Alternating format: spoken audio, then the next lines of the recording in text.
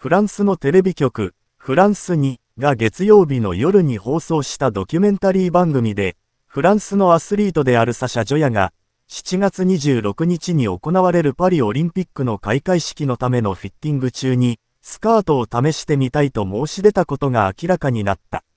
男性アスリートによる初めての試みである。動画、2024年パリオリンピックの開会式のための衣装を試着するシーンでスカートを試すフランス人アスリート。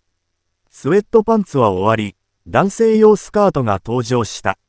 110メートルハードルと棒高跳びのエキスパートである22歳のフランス人アスリート、サシャ・ジョヤは、金曜日に行われたパリオリンピックの開会式のフィッティングでスカートを選んだ。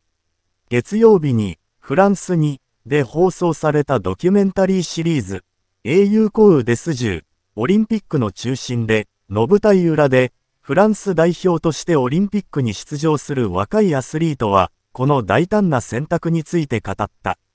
番組のティーザーで、サシャ・ジョヤは口元に笑みを浮かべ、サテン素材のネイビーブルーのスカートを身にまとって試着室から出るシーンが映し出されている。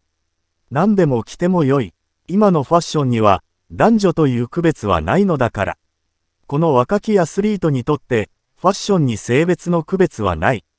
女性がズボンを履く権利があるように、男性もスカートを履く権利があっても良い。と彼は声を上げ、その後、フランスの国旗の青に合わせたスカートを履いた。7月22日に X でこの動画が公開された後、多くのネットユーザーがサシャ・ジョヤの選択に反応した。多くの否定的なコメントが寄せられた一方で、これを完全に支持します。すごく良い。これは良いことだし、正しい考え、これこそ私が好きなフランス、といった熱狂的な反応も数多く寄せられた。